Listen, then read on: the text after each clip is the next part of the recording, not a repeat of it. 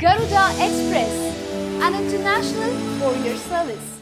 The CBI has registered a disproportionate assets case against Indian Forest Service officer M. Ramprasad Rao and his wife for allegedly amassing assets worth over rupees 10 crores, 240% above his known source of income. It carried out searches at several locations associated with Prasad, including in Tanuku in AP.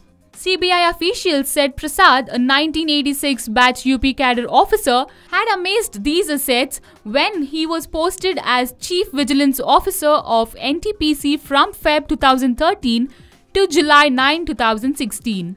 CBI registered a case under IPC Section 109 and Section 13 subsection 1E of Prevention of Corruption Act 1988. Following this, searches were conducted at the residential and office premises of Prasad and his family members at Meerut in Uttar Pradesh and Tanuku in West Godavari district.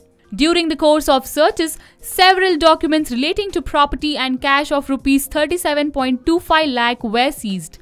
The agency alleged that Rao had acquired properties and movable assets in the name of his wife, children, and the companies run by his wife. The CBI has said Rao's wife was engaged in real estate business and set up Balakanakadurga Properties Satya Avenues Private Limited and Krishna Enterprises, Dwaraka in 2019, 2014 and 2015 respectively. There were not much business activity in these companies and the income generated by these companies was very nominal, the FIR registered earlier this week alleged.